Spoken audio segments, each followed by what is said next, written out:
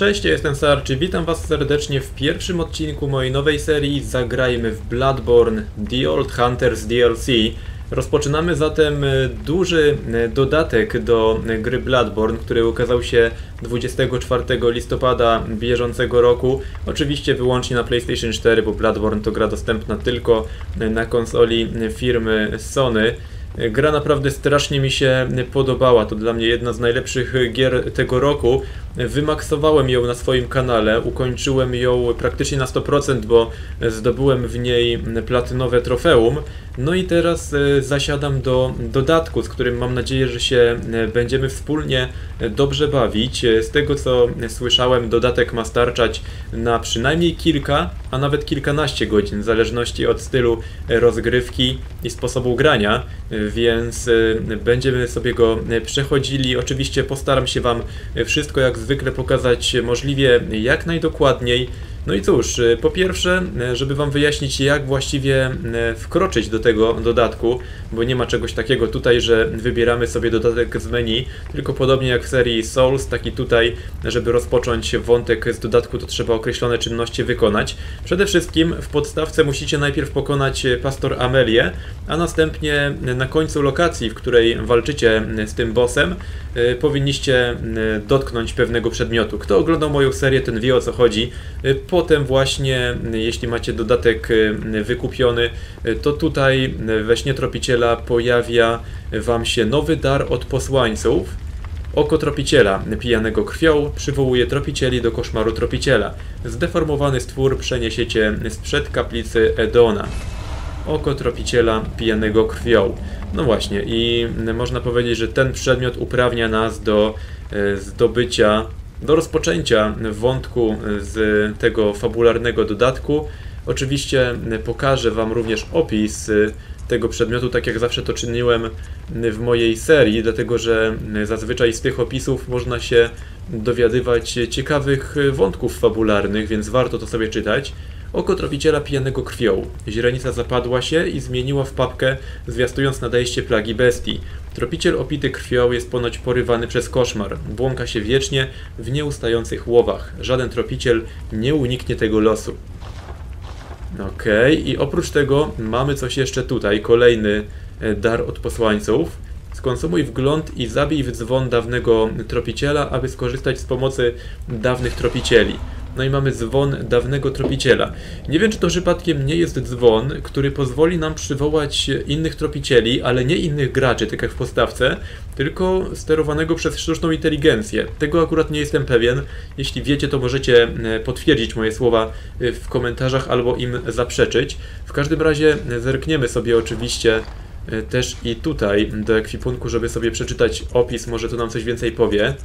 Nie wiem, czy to akurat tutaj będzie. Dobra, znalazłem w końcu. Okazuje się, że jest to w kluczowych przedmiotach dzwon dawnego tropiciela. Jeden z dzwonów przekraczających granice światów, spękany i splamiony krwią bestii. Aby zabić ten osobliwy dzwon, człowiek musi zużyć wgląd.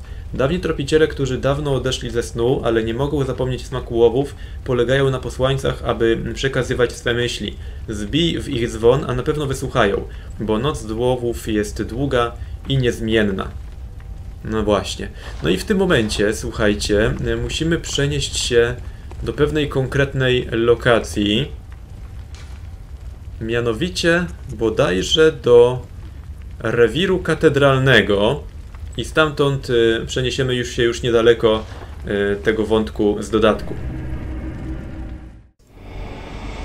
Dobra, jesteśmy na miejscu i jeszcze Dajcie mi koniecznie znać w komentarzach, czy oglądaliście moją serię Zagrajmy w Bloodborne. Jeśli nie, to zachęcam do nadrobienia zaległości, dlatego że seria naprawdę myślę, że była ciekawa i emocjonująca, bo gra charakteryzuje się wysokim poziomem trudności i wiele walk, potyczek z bossami i nie tylko było bardzo ciekawych.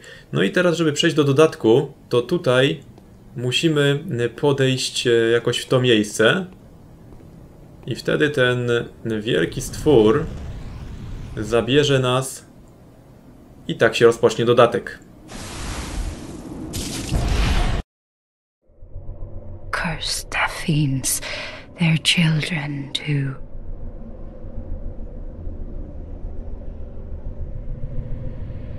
and their children forever true. Jak zwykle zaczyna się tajemniczo, no ale to charakterystyczne dla Bladborna.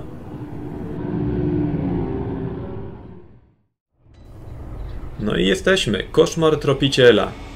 Tutaj rozpoczynamy dodatek i oczywiście jest to moje pierwsze podejście do tego dodatku. Podobnie jak podstawkę, taki dodatek będę na kanale przechodził na ślepo, więc nie znając tego, co tutaj mnie czeka, będziemy przemierzali te światy, bo zawsze te pierwsze podejście do gier od From Software jest myślę najciekawsze, takie dziewicze, kiedy jeszcze nie wiemy czego się spodziewać.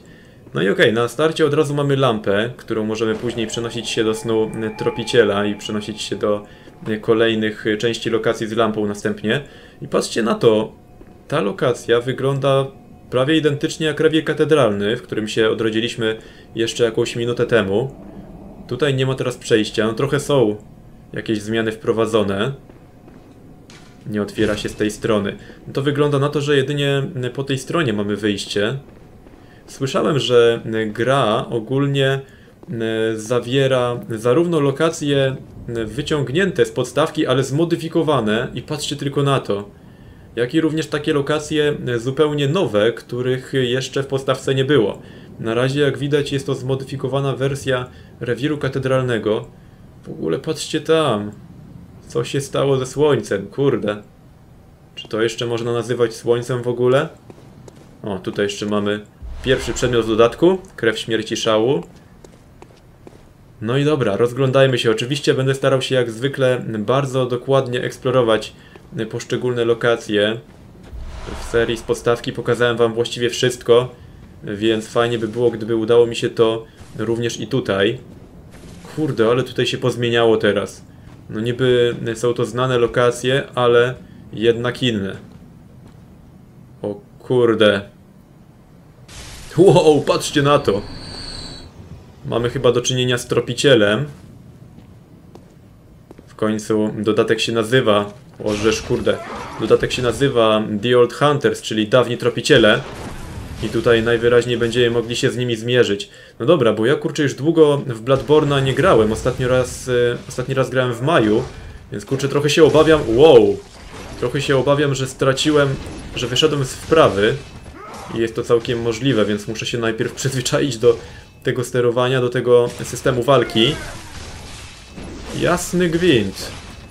No muszę przyznać, że początek nie jest zbyt obiecujący dla mnie, ale spróbuję się za chwilę poprawić. Okej. Okay. No, pierwszy zabity przeciwnik, pierwsze koty za płoty.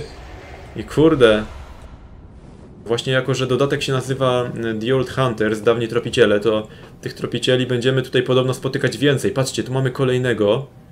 To chyba najpierw tamtędy powinienem w takim razie przejść. No pamiętacie, że w podstawce walki z tropicielami były naprawdę e, dość ciężkie. A biorąc pod uwagę fakt, że tutaj będzie tych tropicieli więcej, no to już y, czuję, kurczę, co tutaj mnie czeka w tym rozszerzeniu. Dobra, Skonfrontujmy się z tym teraz. W ogóle jaką oni mają broń? Oczywiście strzelają również z broni palnej, ale ta broń jest jakaś nowa. Też tutaj nie będzie brakowało nowej zawartości, czyli właśnie nowych broni, nowych zbroi również. Więc na pewno będę starał się wam wszystko prezentować tutaj na bieżąco. A tymczasem tutaj jest e, ślepy zaułek, dlatego właśnie chciałem najpierw przejść. I mamy e, pierwszy rodzaj ekwipunku, czapka dawnego tropiciela. Zobaczmy. Czapka dawnego tropiciela z szerokim rondem, skrywającym jego ostre spojrzenie. W dawnych czasach, kiedy tropicieli było w brud, była to część ich standardowego wyposażenia. Ok, na razie nie będę tej czapki zakładał, później wam ją e, dopiero pokażę, bo być może znajdziemy kolejne elementy tego ekwipunku dawnego tropiciela, więc wypadałoby, żebym pokazał wam całość, a nie tylko jeden z elementów. Tutaj nie mam czego szukać, więc idźmy tak czy siak na górę. Fajna rzecz, bo mimo, że zwiedzamy teoretycznie te lokacje, które były w podstawce, to jednak są one na tyle odmienione, że właściwie poznajemy to na nowo. Muszę wam powiedzieć. Jest zawsze, kurczę, to oczekiwanie, co tutaj jeszcze spotkamy. Troszkę ta niepewność przed nieznanym. Mamy oczywiście notatki pozostawiane przez graczy. Strzeż się ogar. Okej. Myślałem, że to wstanie, ale nie. Kurde, zawsze te pierwsze kroki w tego typu grach y, są czymś wyjątkowym. Świetnie to wspominam w przypadku Bloodborna. Jestem naprawdę optymistycznie nastawiony do tego dodatku, zwłaszcza, że zbiera naprawdę bardzo pozytywne opinie. I proszę, mamy rzeczywiście ogary. Właśnie dlatego wyciągnąłem broń jednoręczną, która jest szybsza i będę w stanie dzięki temu łatwiej ich unikać, a także ich załatwić. Dobra. Mam nadzieję, że nie muszę wam jakoś szczególnie tłumaczyć mechaniki rozgrywki, no bo oczywiście ona się nie zmieniła od czasów y, podstawowej wersji gry. Wow! Orzesz w mordę, skubany mnie zaskoczył. Jasny gwint. Wycofajmy się, bo tutaj jest niebezpiecznie. Po tej stronie. Dobra. Ajajaj, skubany, no. Wykorzystał to i uniknął. Kurczę. Może lepiej się wyleczmy dla pewności. Jeszcze naprawdę jest mi się ciężko przyzwyczaić do tego e, systemu walki. Nie ma co ukrywać. E, kilkumiesięczna przerwa robi swoje. To pół roku właściwie już przerwy mam od e, Bloodborna. Będę musiał się na nowo przyzwyczaić, no ale mam nadzieję, że to szybko mi przyjdzie. No i dobra. No i już kurczę na starcie spotkaliśmy chyba trzech tropicieli, a to dopiero pierwsze minuty z dodatkiem tak naprawdę. I oczywiście znowu ten problem, co jest zawsze w Bloodborne, że mamy mnóstwo różnych przejść i nigdy nie wiadomo, którędy pójść najpierw. Tutaj już się czają te kruki nieszczęsne, które znamy z postawki. Mamy spodnie dawnego tropiciela. Dobra, w takim razie pokażę wam je również. Mam każdy element ekwipunku... Wow! Czekajcie, to może za chwilę. Mam każdy element z ekwipunku z podstawki. Dobra, najpierw ich obiegniemy i teraz zaatakujmy dopiero. Dobra. Aha, i teraz, słuchajcie, będziemy mieli chyba odblokowany skrót. To jest ta brama, która wcześniej była zablokowana. Dokładnie tak. Tutaj wychodzę. No, tutaj zawsze mm, było też fajnie to wszystko zaprojektowane. No, a ta część akurat lokacji nie jest zbytnio zmieniona od e, czasów podstawki. Dobra, bo miałem te spodnie sprawdzić, więc muszę to zrobić w końcu. Gniewny, wilgotny, krwawy klejnot. No, myślę, że teraz jest taki dobry moment, żeby to sobie obadać. Gdzie my to mamy? Spodnie dawnego tropiciela. Szukamy czegoś takiego. Tutaj. Spodnie dawnego tropiciela w starych wiekach chroniące niezliczonych tropicieli od bestii. Starożytne przeświadczenie, że krew bestii wspina się po prawej nodze spowodowało taki, a nie inny krój spodni. No dobra, czyli mamy już czapkę, mamy spodnie. Jak zdobędę pozostałe dwa elementy tego ekwipunku, to wam pokażę całość. Kurde, kolejny... Kolejny tropiciel. Patrzcie, tutaj teraz droga zablokowana jest. Muszę uważać, kurde, na te ataki bronią palną. Dobra. Aj, nie wyszło, nie wyszło tak jak chciałem. Chciałem go, kurde, od razu uderzyć najmocniejszym uderzeniem. No i pięknie. Co my tu mamy dalej? Trzy fiorki z krwią. No i tam właśnie będę musiał się wrócić na ten placyk. Ale tutaj jeszcze coś czeka. Kurde, jak zwykle mnóstwo rzeczy. Nie, jednak jest przejście tutaj, dobra. No spokojnie, będziemy wszystko oczywiście sprawdzać. A tutaj znowu ogar. Czemu on ucieka? Może mnie jeszcze nie zauważył po prostu. No chodź tutaj piesku. Może spróbujemy go zajść powolutku. No i gotowe, dobra. Tu jest kolejny, kurde, a tu widzę, że mamy jakieś działko chyba. Fetor, atak po cichu. No, ten tutaj znowu z kimś walczy. Dobra. I proszę, jedna z moich notatek z podstawki oceniona jako dobra, akurat mm, taka ciekawostka nam się przytrafiła. Kule z żywego srebra. O, a tutaj mamy chyba mechanizm pułapki. Czyli pewnie aktywował to działko tutaj. No, tutaj się na razie nie dostanę, ale chyba wiem, którędy się dostanę, tam od góry. Na razie rozejrzyjmy się po tej stronie. Kurde, kolejni przeciwnicy tutaj czekają tylko, żeby mnie załatwić. Spokojnie, bo tutaj mamy kurde tropiciela również. Można by to zrobić tak, żeby oni zaczęli się atakować. Chyba, że ja go obejdę po cichutku. Zanim w ogóle zdąży się zorientować. Ale gdzie tam? Od razu się orientuje. Dobra. Kurde, jeszcze jeden cios dosłownie. No stary, to może zaatakujesz tamtych, co? A gdzie tam? Nie ma najmniejszego zamiaru. No to w takim razie... Ja ciebie załatwię. Ten koleś ma jakiś młot w ogóle. Niesamowite. Jeszcze nowe rodzaje broni. Nie mogę go kurde w ogóle trafić. No może teraz, kurczę no. Jeszcze raz, jeszcze raz poczekajmy. No to gin, to był twój błąd. Dobra, teraz rozprawmy się z nimi. Akurat na tych to mogę wziąć broń jednoręczną. To są przeciwnicy doskonale nam znani z podstawki, oni większego problemu nam nie sprawiali nigdy. Dobra, mamy krwawy klejnot kolejny. I eksplorujemy dalej, bo tutaj pełno jest przedmiotów do zdobycia. I znowu ten. Dawać, atakować od razu, żeby odebrać z powrotem zdrowie. Tak jak to było w postawce. Kurczę, jak teraz sobie zaczynam grać w ten dodatek, to e, przypominam sobie jak świetna to była gra. Mówię tutaj o Bladbornie. Naprawdę. Świetnie tego Bladborna wspominam. Mam nadzieję, że wy również prosiliście mnie o to, żebym nagrał dodatek. I e, teraz absolutnie nie żałuję, że się w niego zaopatrzyłem i sobie go przejdziemy. No dobra, czyli tutaj to będzie chyba wszystko. To jest w ogóle też y, znany nam plac y, właśnie z podstawki. Tylko, że y, troszkę zmieniony mimo wszystko. Bo tutaj wcześniej przecież nie było... Nie było tego wszystkiego dookoła. Co to w ogóle jest? Lokacjom też się warto zawsze przyglądać. No i okej, okay, tutaj... Nie możemy sobie zejść.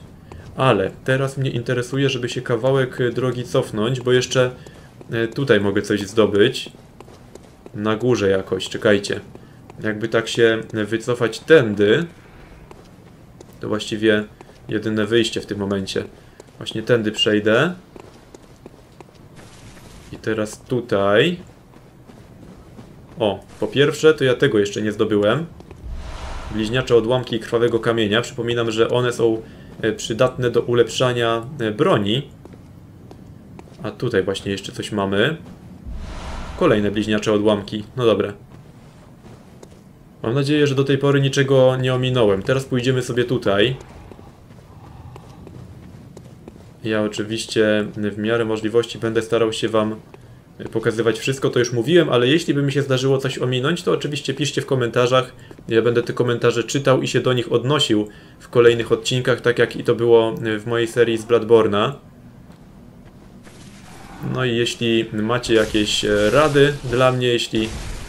Oczywiście bez spoilerów proszę, ale jeśli macie jakieś tam rady, to oczywiście możecie pisać.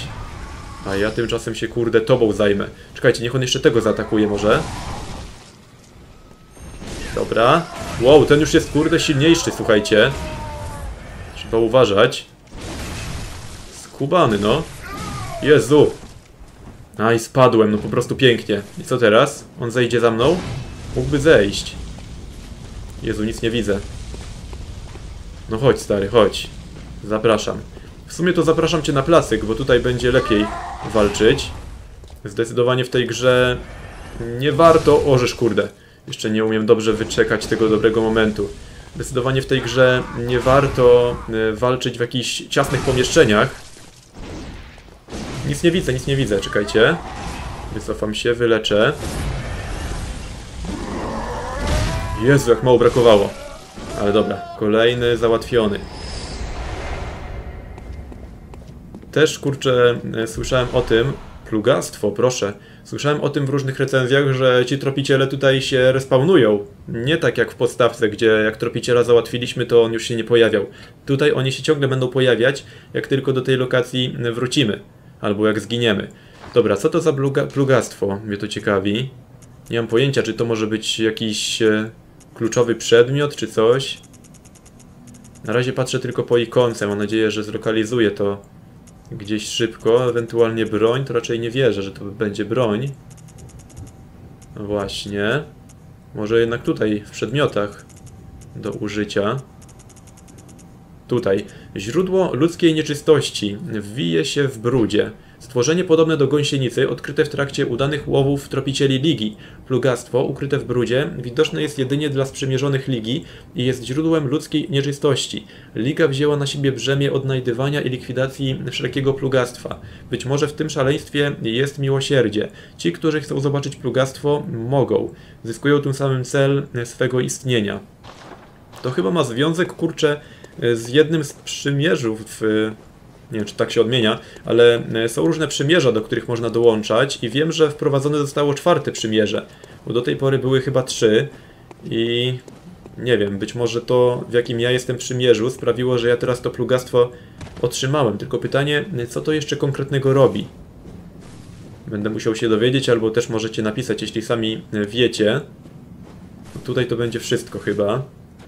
W każdym razie ja tutaj zszedłem po ten przedmiot. Rozcinacz bestii, czyli chyba mamy nową broń, słuchajcie. Zerknijmy. Ok, tutaj mamy statystyki. Oczywiście e, one będą dużo gorsze od mojej aktualnej broni, bo to jest oczywiste, moja broń jest ulepszona. A tutaj mamy podstawową wersję, ale pokażę wam jak to się prezentuje, bo sam jestem zresztą ciekaw. Czyli tak, to są standardowe ataki tego rozcinacza. To są ataki silne, coś takiego, albo atak ładowany. A teraz po rozłożeniu broni... A, to jest ta broń, której używają ci niektórzy tropiciele. To jest tak zwykły. Ten jest silny, ma naprawdę duży zasięg. I tutaj w sumie nie ma ładowanego ataku chyba, słuchajcie. Jeszcze raz spróbuję, jak mi się wytrzymałość zregeneruje. Tak, nie ma możliwości jakiegoś dłuższego naładowania. No dobra, ale na razie nie będę tego używał. No bo to by było w tym momencie samobójstwo używać takiej dużo gorszej e, broni. A też e, na razie nie mamy jakoś materiałów, żeby to maksymalnie ulepszyć. Chociaż trochę ulepszeń można by było wpakować w to. Na razie zostawimy tak jak jest. Dobra, powracam do mojej broni wcześniejszej. I tam chyba ja kulę widzę, słuchajcie. A kula w tej grze zazwyczaj oznacza, że ona, o właśnie, się zapali i zleci w naszą stronę. Na to to ja się nie nabiorę, panowie. To jest standardowa pułapka w grach od From Software, do której, wow, już się przyzwyczaiłem. Skubany, no. Dobra. Teraz tutaj do kolejnych gości wchodzimy. Czemu dzwony biją?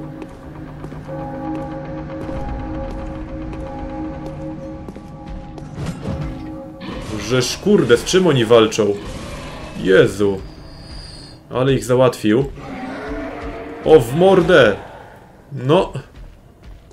Pierwszy poważniejszy przeciwnik chyba, słuchajcie. Do tyłu, do tyłu. No, rzeczywiście gość jest wytrzymały, wow.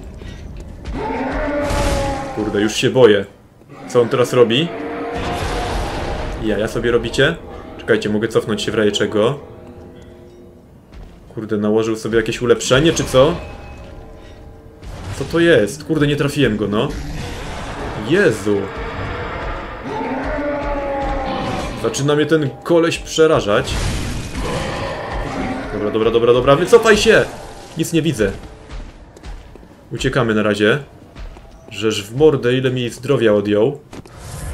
No zdecydowanie, jest to pierwszy poważniejszy przeciwnik, y, który tutaj nam stanął do walki w tym dodatku.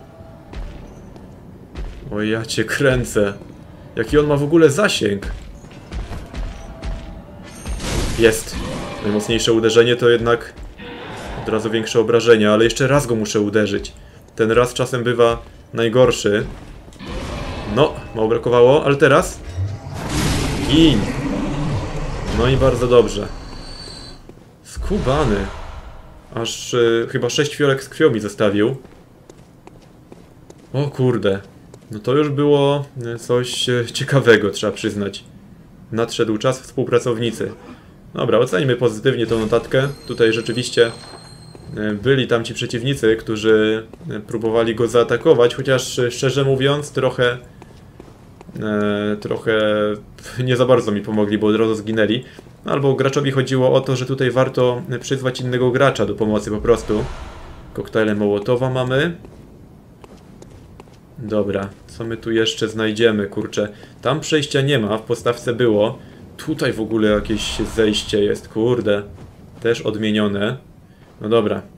Ale najpierw jeszcze chciałbym wejść tutaj. Właśnie tutaj w podstawce walczyliśmy z Pastor Amelią. Jeśli właśnie podstawce ją pokonacie e, w tym miejscu i później mm, dotkniecie pewnego przedmiotu na końcu, no to wtedy mm, pojawia się wam we tropiciela ten przedmiot pozwalający na rozpoczęcie dodatku. O kurde. No nie, szykuje mi się już walka chyba z bossem. O w mordę. Jeszcze to wygląda w dodatku jak bestia kleryka. Tylko, że w nie najlepszym chyba stanie. Nie no. Za chwilę na pewno się na mnie rzuci. Tutaj oczywiście już przedmiot, który tylko czeka, żeby to zabrać. No nie reaguje na razie. Tylko ta futro, czy tam sierść się rusza. Wisior w kształcie oka. I co, rzeczywiście mnie nie zaatakuje? O kurde, a jednak. Byłem prawie pewien, że to będzie walka, ale jednak nie tym razem. No dobra, to spadamy stąd, bo chyba tutaj nie ma czego robić w tym momencie. Zobaczmy, bo tutaj ktoś zginął. Z kimś walczył jednak. Tylko ciekawe, czy to e, tutaj w tym dodatku, czy w podstawce w tej lokacji. Ale dobra, zerknijmy sobie jeszcze na ten wisior i będziemy powolutku e, kończyć. Wisior w kształcie oka, tak? To będzie to. Otwierający ołtarz chirurgiczny. We śnie tropiciela znajdują się dwie katedry. Jedna leży za rzeką krwi, a druga mieści w sobie prywatną salę badań Kościoła Uzdrowienia. Tylko wybrani członkowie Kościoła Uzdrowienia albo ich godni pożałowania pacjenci mogą wejść do sali badań wykorzystując to oko. Tym samym czaszka na ołtarzu zyskuje oczy. Okej, to warto to zapamiętać. A tymczasem już się będę z wami żegnał. Naprawdę już się nie mogę doczekać, jak ten dodatek będzie się dalej rozwijał. Jestem strasznie pozytywnie nastawiony. Tylko od razu uprzedzam, że kolejne odcinki z tego dodatku nie będą się raczej pojawiały codziennie. Chciałbym o tym uprzedzić, żebyście nie oczekiwali, że codziennie będą te materiały wypuszczane. Nie wiem w jakich odstępach czasowych to jeszcze zobaczymy, ale po prostu śledźcie mojego Twittera, gdzie zawsze podaję plany dnia. Tymczasem już żegnam się z Wami. Jeśli odcinek Wam się podobał, to zostawcie kciuka w górę i piszcie komentarze. A więc do usłyszenia kolejnym razem. Cześć!